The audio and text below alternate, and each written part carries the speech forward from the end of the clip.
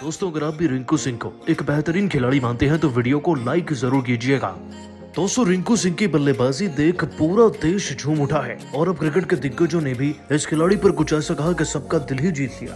क्या बोले क्रिकेट की दुनिया के दिग्गज रिंकू सिंह पर? आपको बताएँगे, लेकिन उससे पहले आप सभी को क्या लगता है? क्या अब रिंकू सिंह को भारतीय टीम में खिलाना चाहिए? या नहीं, नीचे कमेंट करके हमें ज़रूर बताइएगा। दोस्तों, आईपीएल 2022 का एक बेहद ही रोमांचक हाई स्कोरिंग मुकाबला खेला गया कोलकाता और एलएसजी की टीम के बीच में। मुकाबला इतना ज़्यादा खास था कि टॉस जीता बल्लेबाजी चुनी के राहुल की टीम ने और अपनी खासियत सबको दर्शाई अपने बल्ले से।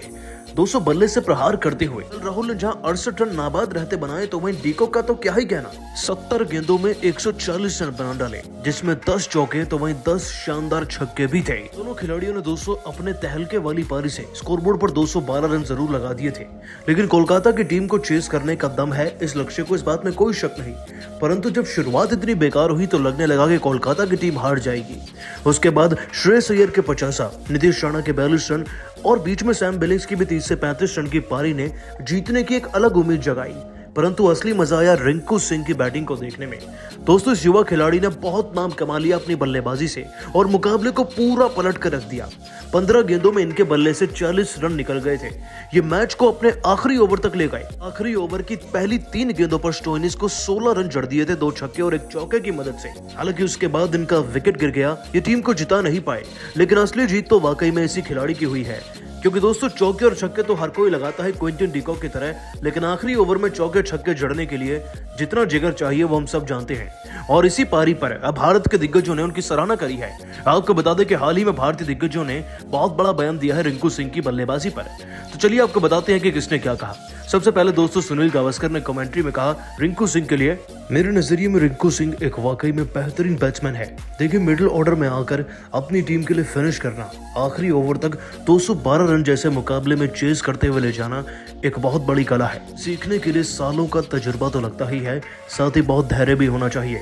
और रिंकू सिंह की पर्सनैलिटी में वो सब कुछ है, जो कि उन्हें एक बेहद ही बेहतर फिनिशर बनाता है। इधर वो अपनी बल्लेबाजी को जारी रखकर आगे भारतीय टीम में भी खेलते नज़र आएँगे। इतना ही नहीं, दोस्तों, आपको बता दें कि हाल ही में सूर्य कुमार यादव ने उनके लिए खास तौर पर ट्वीट किया था और उनकी बल्लेबाजी के लिए लिखा वाकई में आज आईपीएल देखकर लगा कि आईपीएल का मैच चल रहा है। आपकी बल्लेबाजी सराहनीय है, रिंकू सिंह आगे ऐसे ही प्रदर्शन करते रहिए।